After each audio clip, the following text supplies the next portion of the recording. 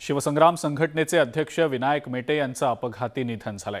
मुंबई पुणे एक्सप्रेसवेवर त्यांच्या कारला अपघात झाला होता. अपघातात गंभीररित्या जखमी झालेल्या विनायक मेटेंना कामोठेतल्या एम जी एम हॉस्पिटलमध्ये दाखल करण्यात आलेलं होतं. मात्र तिथं त्यांना मृत घोषित करण्यात आलं. मराठा आरक्षणासंदर्भातल्या बैठकीसाठी विनायक मेटे मुंबईला येत होते.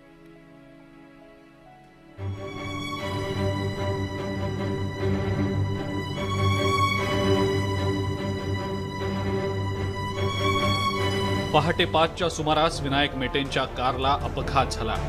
बीडवरून निघालेल्या विनायक मेटे यांची कार ट्रेलरला धडकली. हा अपघात एवढा भीषण होता की विनायक मेटे यांचा घटनास्थळीच मृत्यू झाला.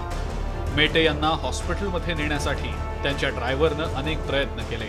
अखेर एका ॲम्ब्युलन्समधनं मेटे यांना पनवेलमधल्या एमजीएम रुग्णालयात नेण्यात आलं. मात्र तोपर्यंत उशीर झालेला होता. तर मेटेंच्या बॉडीगार्डला कारचा दरवाजा कापून बाहेर काढण्यात आलं. मराठा आरक्षणासंदर्भातल्या बैठकीसाठी विनायक मेटे मुंबईला येत होते. जाताना एवढंच सांगितलं होतं की उद्या मराठा आरक्षणची मीटिंग आहे आणि मला त्या मीटिंगला जावंच लागेल. मग आम्ही सगळेजण घरातले सगळेच जण म्हटलो की उद्या सकाळी पहाटे निघा तुम्ही. तर ते म्हटले सकाळी पहाटे निघल्यानंतर नाही पोचणं व्हायचं.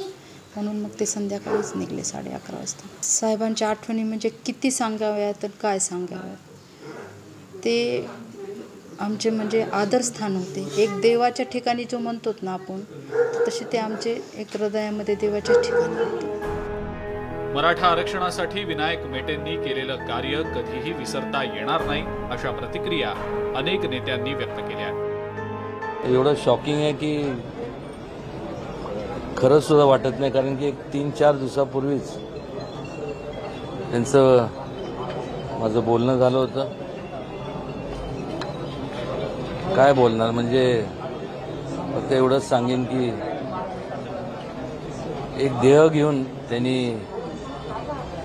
एक उद्दिष्ट समाजाच्या हिताचा घेऊन त्यांनी आयुष्य वेचलं स्वतःचं. मराठा आरक्षण मराठा समाज आणि छत्रपती शिवाजी महाराजांचं अरबी समुद्रातलं स्मारक ह्या गोष्टींसाठी विनायकजी मेटे यांनी दिलेलं योगदान कधी म्हणजे कुणीही ते हे करू शकत नाही. म्हणजे त्यांनी भरपूर काम केलं आणि मराठा समाजाला प्रामुख्यानं न्याय मिळवून देण्याचं काम हे विनायकजी मेटेंच्या माध्यमातून फार मोठ्या प्रमाणावर झालं. त्याचं मूल्यमापन आपण शब्दात करू शकत नाही.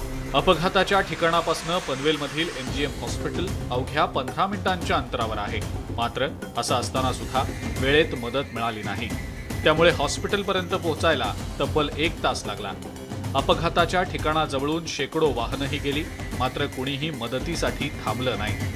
विनायक मेटे यांच्या बॉडीगार्डची प्रकृती गंभीर आहे. त्याच्या छातीला जबर मार लागल्यानं आयसीयूमध्ये उपचार सुरू आहेत. तर ड्रायव्हर एकनाथ कदम याची पोलीस चौकशी करतायत.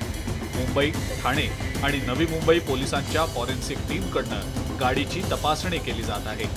महामार्गावरील सीसीटीव्ही फुटेजही तपासलं जात आहे तसंच हा अपघात आहे की घातपात याचाही तपास पोलिसांकडून सुरू करण्यात आला आहे विनायक मेटे बीडवरून मुंबईच्या दिशेने येत होते. बरोबर साडेपाच वाजता भातन बोगद्याच्या अलीकडे त्यांच्या गाडीला अपघात झाला आणि त्या गाडीची काय परिस्थिती आहे हे आपण प- पाहू शकता. साडेपाच वाजता अपघात झाला आणि साडेसहा वाजता विनायक मेटेंना जेव्हा एमजीएम रुग्णालय कामोठे इथे आणण्यात आलं खरं म्हणतं तर पंधरा मिनिटाचं हे अंतर होतं परंतु तिकडे त्यांना एक तास लागलं. त्यांना वैद्यकीय सुविधा वेळेवर मिळाली नाही म्हणून त्यांचा मृत्यू झाला. व्हिडिओ जर्नलिस्ट गणेश काळेचं विनय मात्रे न्यूज एटीन लोकमत रायगड.